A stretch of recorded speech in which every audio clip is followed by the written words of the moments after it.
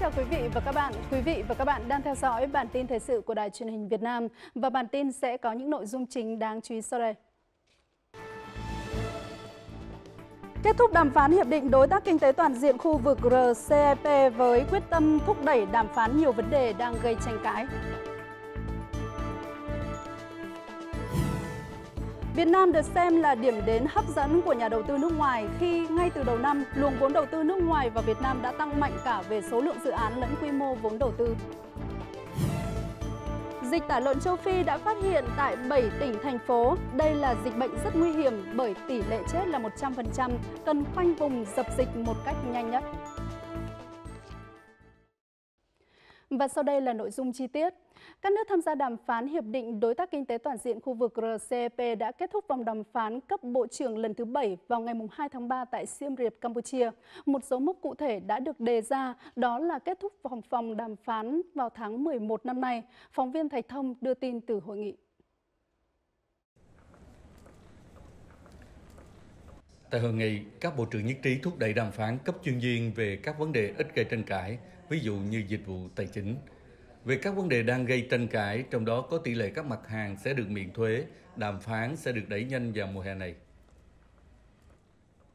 Thì chúng tôi đã thông qua được một chương trình làm việc hết sức là năng động trong năm 2019 này, đặt ra các mục tiêu cụ thể cho từng phiên gặp nhau và có thể các bộ trưởng sẽ phải gặp nhau từ 2 đến 3 lần nữa để đưa ra các chỉ đạo cần thiết cho ờ, các nhân viên đàm phán để có thể kết thúc đàm phán toàn diện trong năm 2019 này. Đàm phán về Hiệp định Đối tác Kinh tế Toàn diện khu vực RCEP được khởi động từ năm 2012 và đã có tiến trình tích cực trong năm 2018 vừa qua. Hội nghị cấp bộ trưởng tiếp theo dự kiến sẽ được tổ chức vào tháng 8 tới và các bộ trưởng đặt mục tiêu đến tháng 11 2019 sẽ kết thúc đàm phán để trình lên lãnh đạo cấp cao của 16 nước. Tại hội nghị lần này, các bộ trưởng cũng đã thông qua quy tắc ứng xử trong đàm phán. À, đó là không mở lại những vấn đề đã được thống nhất À, không đưa ra vấn đề mới trong thời điểm hiện nay mà tất cả tập trung vào mục tiêu kết thúc đàm phán hiệp định đối tác kinh tế toàn diện khu vực RCEP trong năm 2019 này. Thạch Thông, phóng viên thường trú truyền hình Việt Nam tại Campuchia. Trong chuyến thăm và làm việc tại Cộng hòa Nam Sudan vừa qua, Thượng tướng Nguyễn Chí Vịnh, Thứ trưởng Bộ Quốc phòng Việt Nam đã có cuộc hội kiến với Phó Tổng thống Nam Sudan James Wandi Iga. Tại buổi tiếp, Phó Tổng thống James Wandi Iga đã bày tỏ lòng cảm kích về sự coi trọng của Việt Nam trong hợp tác với Nam Sudan, Cảm ơn Việt Nam đã cử lực lượng tham gia hoạt động gìn giữ hòa bình của Liên Hợp Quốc, đồng thời đánh giá cao sự chuyên nghiệp tính kỷ luật của các sĩ quan và đặc biệt là Bệnh viện giã chiến cấp 2 đang hoạt động tại phái bộ gìn giữ hòa bình Liên Hợp Quốc ở nước này. Cũng trong khuôn khổ chuyến thăm, Thượng tướng Nguyễn Chí Vịnh đã có các buổi làm việc với Bộ Quốc phòng, Bộ Ngoại giao Nam Sudan và các kế hoạch hợp tác giữa hai nước sau khi Việt Nam và Nam Sudan thiết lập quan hệ ngoại giao vào ngày 21 tháng 2 vừa qua.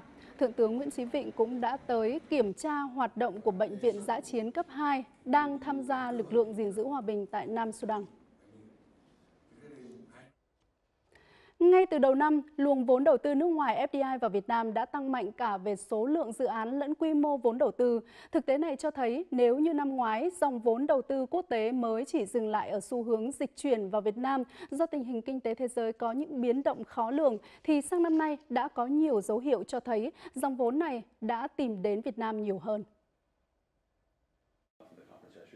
4 tỷ đô la Mỹ là tổng vốn đầu tư của dự án khí hóa lỏng LNG đến từ nhà đầu tư Mỹ này, đang trong quá trình hoàn thiện các thủ tục đầu tư cuối cùng. Nhưng doanh nghiệp tin tưởng với nhu cầu năng lượng ngày càng tăng mạnh của nền kinh tế, Việt Nam sẽ là thị trường đáng mơ ước của bất cứ nhà đầu tư nào. Do vậy, chủ đầu tư mong muốn được nhanh chóng triển khai dự án trong năm nay. Chúng tôi yên tâm với khả năng phát triển kinh tế mạnh mẽ của Việt Nam và quan trọng là tốc độ tăng trưởng khá bền vững so với các nước đang phát triển khác. Nếu đầu tư thì chúng tôi mong muốn con đường dài, chứ không chỉ lợi nhuận cao ngay từ đầu. Ngay trong 2 tháng đầu năm nay, tổng vốn đăng ký cấp mới tăng thêm và góp vốn mua cổ phần của các nhà đầu tư nước ngoài đạt gần 8,5 tỷ đô la Mỹ, tăng hơn 2,5 lần so với cùng kỳ năm ngoái. Lợi thế nổi bật của Việt Nam là cơ hội vươn ra thị trường toàn thế giới qua các cầu nối hiệp định thương mại tự do cũng là điều hấp dẫn các nhà đầu tư nước ngoài và không ai muốn bỏ lỡ. Sự tăng trưởng của các doanh nghiệp Việt Nam trước đó, thời gian đầu tư bao lâu và việc tăng trưởng có liên tục hay không là những yếu tố chính mà các nhà đầu tư nước ngoài cân nhắc khi quyết định đầu tư vào Việt Nam. Việc dòng vốn đầu tư vào Việt Nam đang tăng lên cho thấy sự thuyết phục của địa điểm đầu tư đối với các doanh nghiệp, đặc biệt là các doanh nghiệp nước ngoài lớn. Tuy nhiên, thị trường chỉ là một phần nếu không có môi trường pháp lý thuận lợi cho đầu tư. Mới đây, chính phủ Việt Nam cũng đã hợp tác với Tổ chức Hợp tác và Phát triển Kinh tế OECD, một tổ chức nghiên cứu và thiết lập tiêu chuẩn quan trọng của kinh tế nhằm đánh giá rõ ràng, toàn diện sự phát triển kinh tế của Việt Nam. Những động thái này là minh chứng cho nỗ lực minh bạch hóa hướng tới tiêu chuẩn quốc tế trong đầu tư của Việt Nam. Việt Nam là một trong những quốc gia được đánh giá có độ ổn định chính trị cao nhất ở Đông Á và châu Á Thái Bình Dương. Đây là yếu tố then chốt của môi trường kinh doanh để doanh nghiệp nước ngoài đầu tư vào đây. Chúng tôi đánh giá cao nỗ lực cải thiện khung pháp lý không ngừng của chính phủ Việt Nam. Hai chính sách Việt Nam đang làm tốt và cần phát huy là duy trì ổn định kinh tế vĩ mô gắn với kiểm soát tốt lạm phát. Sự ổn định trong bối cảnh đầy biến động của kinh tế thế giới là điều thuyết phục dòng vốn đầu tư tìm đến với Việt Nam, nhưng bên cạnh đó còn là nỗ lực cải thiện môi trường đầu tư, tận dụng tối đa cơ hội để giới thiệu, chia sẻ thông tin, gặp gỡ quốc tế nhằm xúc tiến mời gọi các nhà đầu tư đến với Việt Nam. Ở khu vực đồng bằng sông Cửu Long, các doanh nghiệp gạo trong nước đã đẩy mạnh thu mua lúa đông xuân. Đây là theo chỉ đạo của Thủ tướng Chính phủ về việc thu mua tạm trữ 200.000 tấn gạo và 80.000 tấn lúa cho nông dân đồng bằng sông Cửu Long. Chủ trương này đã tạo ra những tác động tới giá lúa, phản ánh của phóng viên thời sự. Ngay tại cánh đồng này, lúa IR50404 đang được thương lái thu mua dưới mức giá là từ 4.500 đồng đến 4.600 đồng một ký, à, tức là cao hơn 200 đồng một ký so với cách đây vài ngày. Đối với những giống lúa chất lượng cao cũng nhích lên khoảng 300 đồng và đang dao động mức từ 4.800 đến 5.500 đồng một ký. Mặc dù lợi nhuận không cao như vụ lúa đông xuân trước, nhưng với mức giá này, ông Chấn vẫn có lãi. Thì à, bán cho công ty thành tính đó là 5 ngàn rưỡi Năm nay là mức giá với cái năng suất này là lời nhưng mà số ít lời một công chỉ chừng vài trăm ngàn à. Hiện hoạt động thu mua lúa để tạm trữ và phục vụ chế biến xuất khẩu đang được các nhà máy tại đồng bằng sông Cửu Long đẩy mạnh. Giá lúa dự báo sẽ tiếp tục được cải thiện, nhưng theo các doanh nghiệp không thể lặp lại mức cao lịch sử như năm trước. Giá thì cũng tương đối phù hợp để à, là xuất khẩu có hiệu quả nhưng không có được như cái giá mà tất cả mọi người kỳ vọng như năm rồi là năm 2018 giá năm 2018 là có thể nói là 10 năm mới có một từ nỗi lo không bán được, nay lúa thu hoạch đã có thương lái mua ngay và đảm bảo nông dân có lãi. Đó là tín hiệu tích cực từ chủ trương thu mua tạm trữ lúa gạo của chính phủ. Dù là giải pháp tạm thời, nhưng ít nhiều nó cũng kịp thời hỗ trợ nông dân doanh nghiệp ứng phó trước ảnh hưởng chung của thị trường lúa gạo thế giới.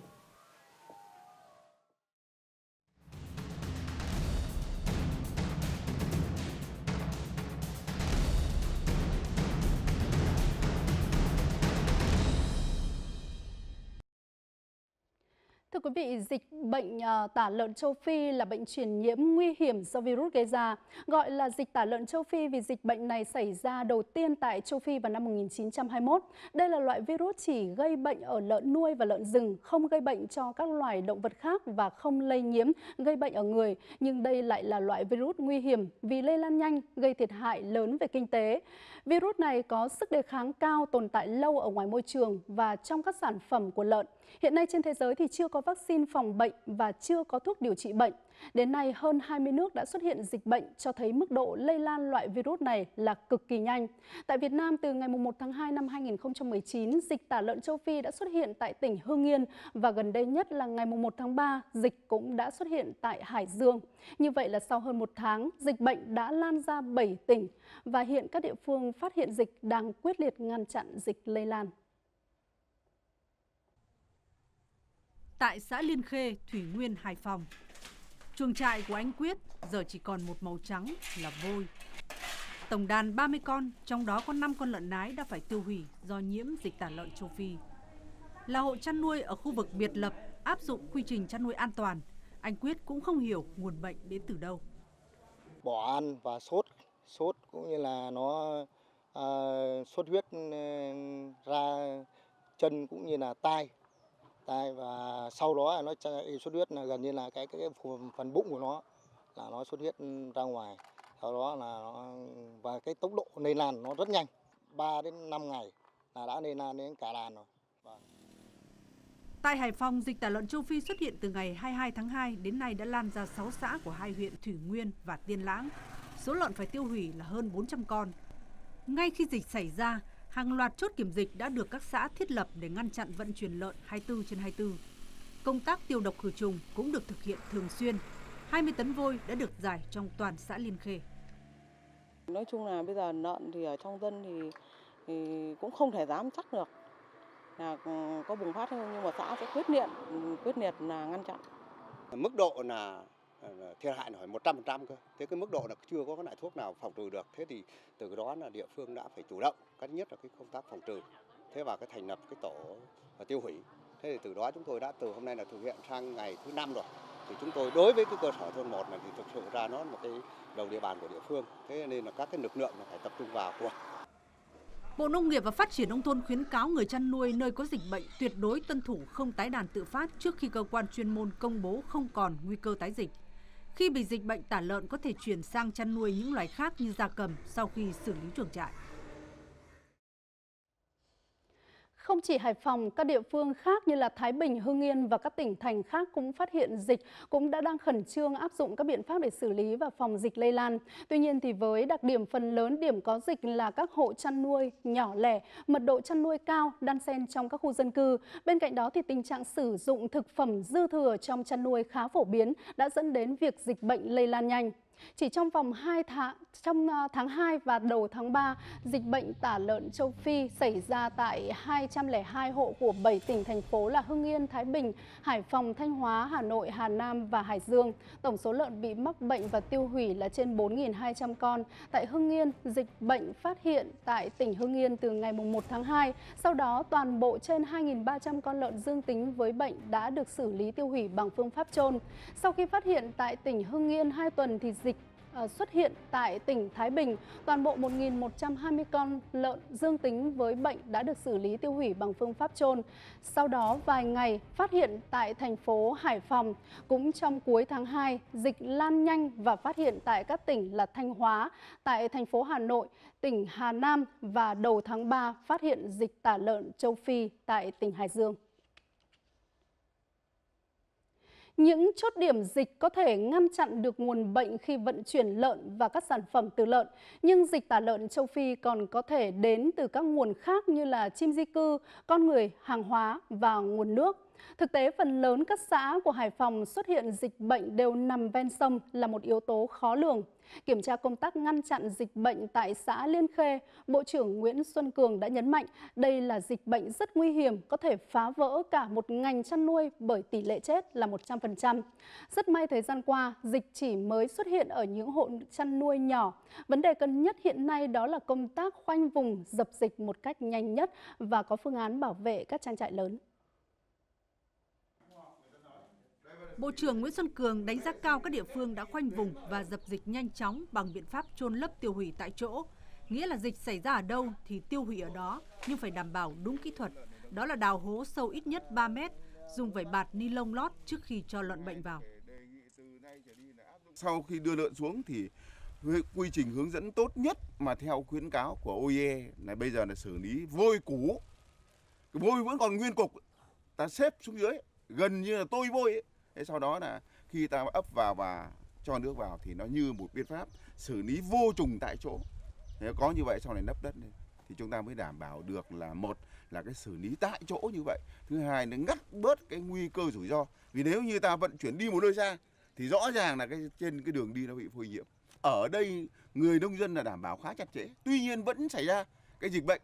Lý do tại sao? Vì bản thân dịch tả lợn châu phi lây truyền qua rất nhiều con đường trong đó có những con đường mà bản thân chúng ta tại chỗ dù khắc phục đến mấy mà không may nó vẫn xảy ra. Thí dụ chim di cư. Ờ, thí dụ như là gió thí dụ như là uh, du lịch cho rất nhiều cái nguồn. Do đó là chúng ta phải nêu cao cảnh giác tuân thủ nghiêm ngặt tất cả mọi biện pháp.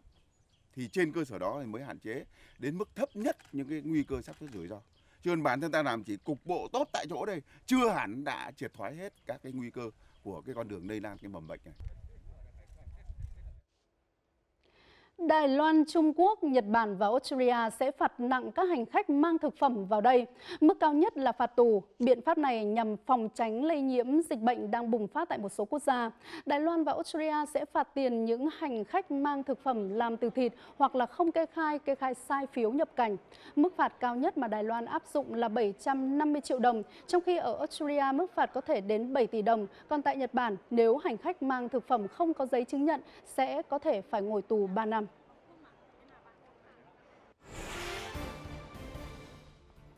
Trong phần tiếp theo của bản tin, khát vọng đến trường của các em học sinh vùng lũ tại huyện Mường La, tỉnh Sơn La và huyện Văn Chấn, Yên Bái sau đợt mưa lũ sạt lở đất.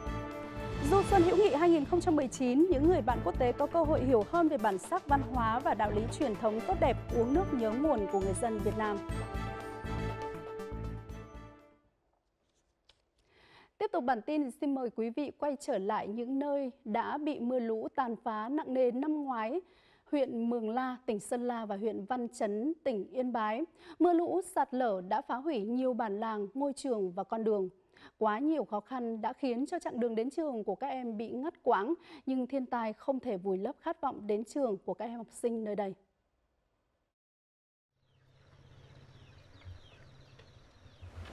Năm giờ sáng mỗi ngày, hơn 10 cây số con đường từ bản ra trung tâm huyện ở đó có trường cấp 3 Xuân và các bạn theo học. Đường xấu, dốc và đá nhọn. Những học sinh cấp 1, cấp 2 đi xe đạp, nhiều đoạn phải dắt bộ. Hôm trời mưa thì em đi vừa đi xuống dưới nhà thì ngã rồi ấy. Trời mưa to thì cầu ấy, làm cầu trôi mất. Có khi còn khóc ra, sợ không được đi học. Kể cả ngã rồi quay lại thì vẫn đi tiếp ạ. Có khi lúc trời mưa to ấy, đến trường ấy, quần áo còn ướt hết. Xuân mất bố và anh trai trong đợt mưa lũ lịch sử. Sau đó mẹ sức khỏe yếu dần, em là lao động chính trong nhà. Những sườn núi dốc, cao, mỗi chiều em vẫn đi lấy rau về cho bò ăn.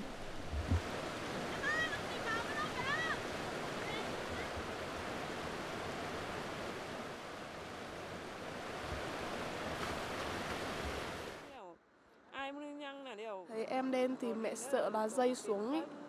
Thế mẹ lo, thấy là mẹ cứ khóc.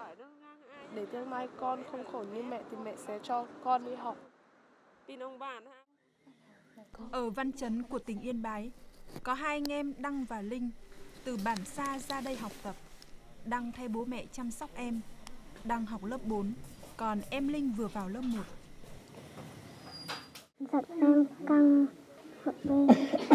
nếu em làm một việc gì sai con con sẽ nhắc là không làm nữa Sáng cuối tuần nào, Đăng cũng sắp đồ để hai anh em về nhà. Nhà của hai anh em cách trường 5 cây số. Có hôm bố mẹ không ra đón, hai anh em tự đi bộ về. Hai đứa con thì thích đi học, có khi là ốm thì con vẫn muốn đi. Có lúc nó bảo là mẹ ơi mẹ, nếu mà con học được thì mẹ cứ cho con đi học.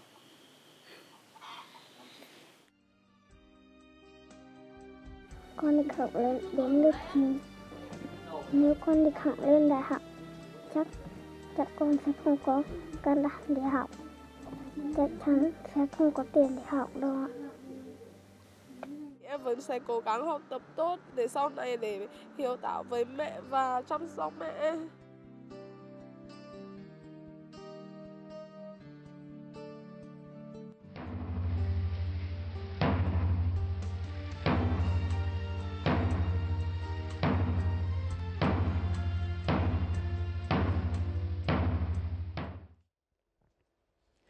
Sáng ngày 3 tháng 3, hơn 3.000 người dân thành phố Hồ Chí Minh đã cùng nhau mặc những tà áo dài đa sắc, tạo nên một cảnh tượng độc đáo giữa phố đi bộ Nguyễn Huệ. Sự kiện nằm trong khuôn khổ của lễ hội áo dài thành phố Hồ Chí Minh năm 2019. Điểm nhấn của chương trình là phần đồng diễn thể hiện tình yêu của người Việt Nam dành cho tà áo, tà áo dài thân thương, đồng thời ca ngợi vẻ đẹp trường tồn của chiếc áo dài gửi đến mọi người dân và du khách quốc tế. Ngoài thông điệp tôi yêu áo dài Việt Nam, năm nay ban tổ chức còn lan tỏa thông điệp bảo vệ môi trường, hãy vì một thành phố xanh sạch đẹp thông qua các bộ sưu tập của các nhà thiết kế. Sức lan tỏa của chương trình còn thể hiện ở sự tham gia nhiều hơn hơn của các đại sứ hình ảnh. Lễ hội áo dài Thành phố Hồ Chí Minh 2019 tiếp tục lan tỏa những giá trị văn hóa đặc sắc Việt Nam thông qua hình ảnh của chiếc áo dài. Cũng vào sáng ngày 3 tháng 3 tại khu di tích lịch sử quốc gia đặc biệt Đền Hùng Phú Thọ, Liên hiệp các tổ chức hữu nghị Việt Nam phối hợp với Ủy ban Nhân dân tỉnh Phú Thọ đã tổ chức chương trình Du Xuân Hữu nghị năm 2019 cho đoàn ngoại giao, các tổ chức quốc tế, các tổ chức phi chính phủ nước ngoài và đại diện các bộ ngành tại Hà Nội. 9 giờ 30 sáng tại Điện Kính Thiên, hơn 300 đại biểu là các đại sứ, đại diện các tổ chức quốc tế, các tổ chức phi chính phủ nước ngoài tại Việt Nam đã thành kính dân hương tưởng niệm các vua hùng theo nghi lễ truyền thống. Về đất tổ vua hùng ngày hôm nay, những người bạn quốc tế có cơ hội hiểu hơn về bản sắc văn hóa và đạo lý truyền thống tốt đẹp uống nước nhớ nguồn của người dân Việt Nam. Mọi người đến đây là để thể hiện sự tôn trọng đến các vị vua hùng, những người có công dựng nước và giữ nước Việt Nam. Đây là lần đầu tiên tôi đến đây và thực sự có nhiều cảm xúc.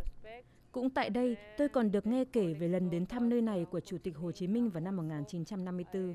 Những người nước ngoài yêu và muốn tìm hiểu về lịch sử Việt Nam có thể đến đây để có những khám phá thú vị. Thăm cái khu này nó sẽ để lại trong chúng tôi một cái ấn tượng rất tốt đẹp về một ờ, dân tộc Việt Nam, dân tộc ờ, rất là hiền hậu, dân tộc ờ, vẫn gắn liền với một nền văn hóa lâu đời, một dân tộc đã ghi những trang lịch sử cho dân tộc mình. Trong khuôn viên khu di tích, Ủy ban Nhân dân tỉnh Phú Thọ cũng đã tổ chức giao lưu, giới thiệu những tiềm năng phát triển kinh tế của tỉnh, đồng thời giới thiệu tới các đại biểu tiết mục biểu diễn hát xoan, một nét đẹp nghệ thuật truyền thống đã được UNESCO công nhận là di sản văn hóa phi vật thể đại diện của nhân loại. Tỉnh Phú Thọ cũng là một nơi mà có cái phát triển kinh tế rất là năng động Vâng, rất là giàu các cái truyền thống văn hóa thì tôi nghĩ là Phú Thọ là một trong những cái điểm mà bạn bè quốc tế đến đây có thể cảm nhận được rất là rõ về con người Việt Nam và đất nước Việt Nam. Chúng tôi, những người nước ngoài đến từ mọi nơi trên thế giới, đã có mặt ở đây và có những trải nghiệm tuyệt vời ở vùng đất linh thiêng này. Tôi đã nói chuyện với nhiều người và được biết thêm nhiều câu chuyện về Việt Nam. Dịp như thế này đã giúp mang mọi người lại gần với nhau hơn, mang đến tình bạn giữa những con người ở nhiều quốc gia khác nhau. Chương trình Du Xuân Hữu Nghị là hoạt động thường niên mỗi dịp xuân về, nhằm tăng cường tình hữu nghị và sự hiểu biết lẫn nhau giữa nhân dân Việt Nam và bạn bè quốc tế. Qua đó giới thiệu và quảng bá các di tích lịch sử, văn hóa Việt Nam và tạo điều kiện thúc đẩy giao lưu, trao đổi hợp tác kinh tế giữa địa phương của Việt Nam với đại diện các cơ quan ngoại giao đoàn, các tổ chức quốc tế đang hoạt động và làm việc tại Việt Nam. Còn bây giờ trong phần cuối của bản tin, xin mời quý vị cùng chúng tôi điểm lại một số sự kiện đáng chú ý đã diễn ra tuần qua.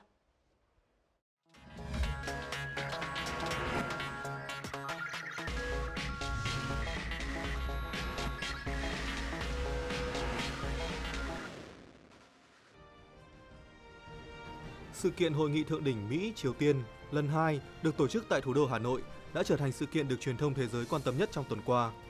Trong hai ngày diễn ra hội nghị, đại diện phái đoàn Mỹ-Triều Tiên đã có những cuộc gặp trên tinh thần hữu nghị.